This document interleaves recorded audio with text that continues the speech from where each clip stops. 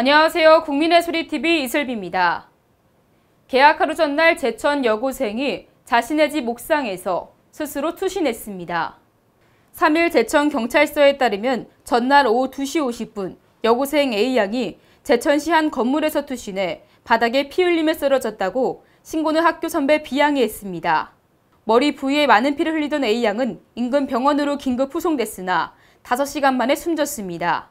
유족은 방학 기간 친구와 다툼을 벌인 뒤부터 개학날 가만두지 말자는 등의 얘기를 듣고 많이 힘들어해서 혼자 옥상에 올라간 것 같다. 죽고 싶다 이런 얘기들을 했다며 MBC를 통해 말했습니다.